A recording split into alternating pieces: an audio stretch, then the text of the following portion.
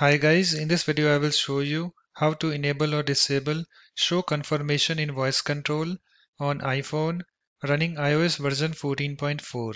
So this is my iPhone device. So let's start. So first of all you have to open your settings app.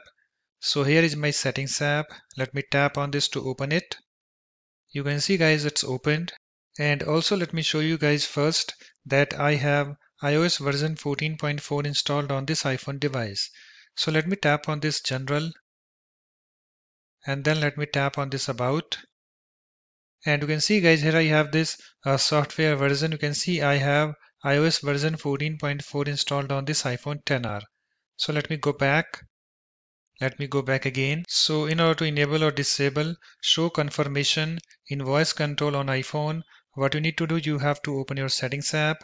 And after that you have to scroll down to accessibility so let me go over there. So here I have this accessibility. So you have to tap on this to open it. Let me tap on this. And I have this screen opened. And on this screen, you have to come to this you know section, physical and motor. And in this section, you have to tap on this voice control. Let me tap on this. And I have this voice control, this screen opened. You can see I have this voice control currently enabled. So on this screen, you have to come to this section, command feedback.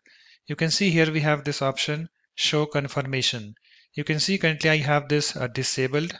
So in order to enable uh, show confirmation, you have to tap on this toggle uh, next to this show confirmation and move this slider to the right.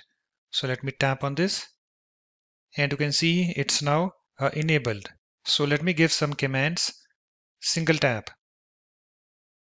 You can see guys, here we have this confirmation. Let me give uh, one more command. Double tap. You can see here we have this confirmation. Because we have this show confirmation, this option enabled. So suppose if you want to disable this, you have to tap on this toggle next to this show confirmation and move this slider to the left. So let me tap on this. You can see it's now disabled. So let me give some commands single tap. You can see it's now done and we don't have any confirmation over here. Let me give uh, one more command. Double tap. You can see and we don't have any confirmation. So just select the option that you want. So I want to enable this. So let me tap on this toggle and move this slider to the right. You can see it's now enabled. And after you're done guys, you can close your settings app. So let me close that. So that's it. In this way, you can easily enable or disable show confirmation in voice control on iPhone running iOS version 14.4. So thanks for watching. If you like my videos, please support this channel by subscribing to it. Thanks. Bye bye.